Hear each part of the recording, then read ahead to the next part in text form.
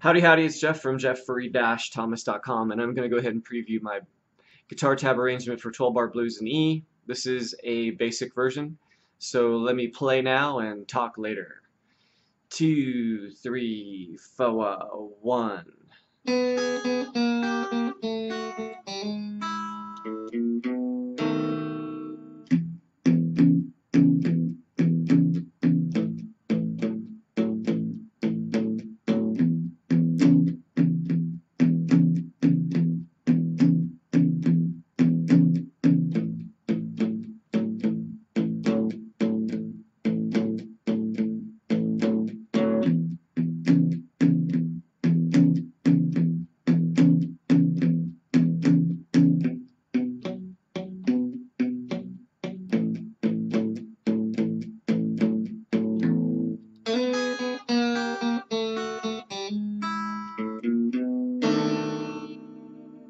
Okay, so obviously we've got a cool intro and an ending.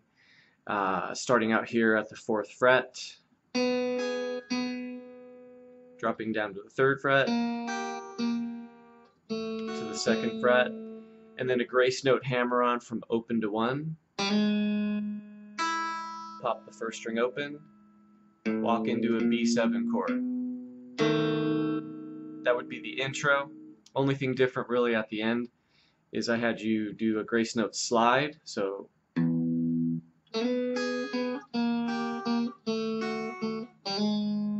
same grace note hammer on, and then walk into a B7 sharp 9, which is pretty hip, mean sounding. And uh, let's see, 12 bar blues, just for people who are real, real basic and um, just getting an understanding of this.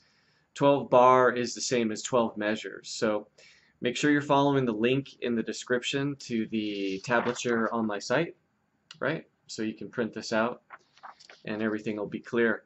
So the structure of the blues when you're playing the rhythm would be, you know, literally 12 measures long. So you're going to start with your E chord. And that's not just an E chord, it's an E5 which is typically like a power chord. And then when you add your third finger here to the fourth fret on the fifth string, that becomes an E6. So it's just two notes, E5, E6. Those are the intervals that you're playing. If you want to get really technical, this is a perfect fifth, and this is a major sixth. Okay. All right, then you do the same thing for the A. A5, A6. Okay.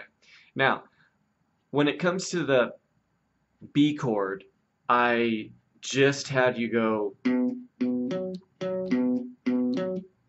basically playing the two notes from a B5 interval. You can do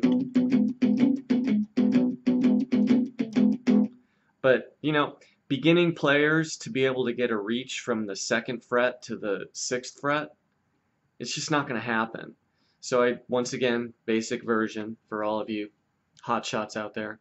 Um, also, this goes into a little bit of theory. If you want to really talk about the, the basic form of the blues, it would be using the 1, 4, and the 5 chord. So what the heck does that mean? Well, if you're in the key of E, E is your 1 chord, or E7, however you want to voice the chord. And then A would be your 4 chord, literally just count E, F, G, A, and it's four notes away from the E chord. And then your B chord is five notes away from E. So that's where the one, four, five numbers come from. And there is just a huge variety of blues progressions. So as you're going into blues playing, be ready for lots of different um, chords and structures of that 12 bars. There's going to be many variations of the progressions that you can play and of course the keys that you can play it in.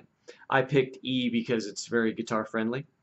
Okay, so next thing to talk about is the top row of the chord diagrams. I have all five pentatonic patterns for E minor, um, which is very important, so I'll just run the first one for you.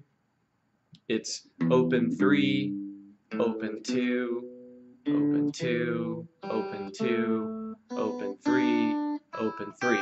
Now when you get to the top note, you're going to turn right back around and come down.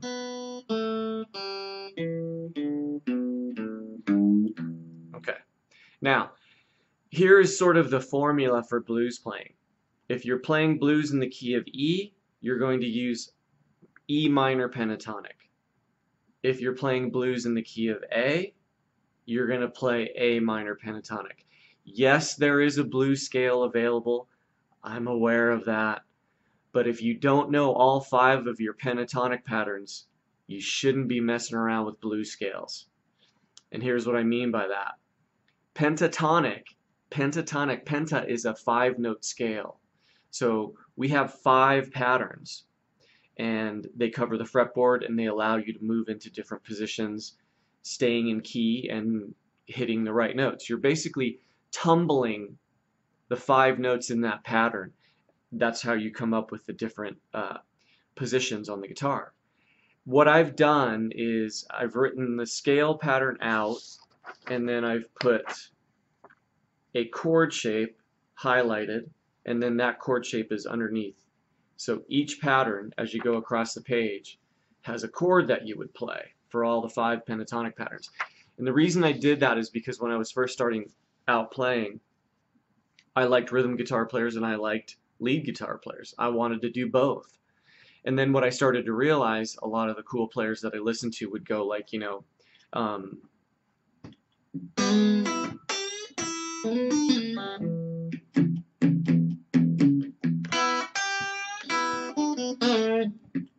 they'd go back and forth from rhythm playing. And I just thought that was the coolest thing in the world.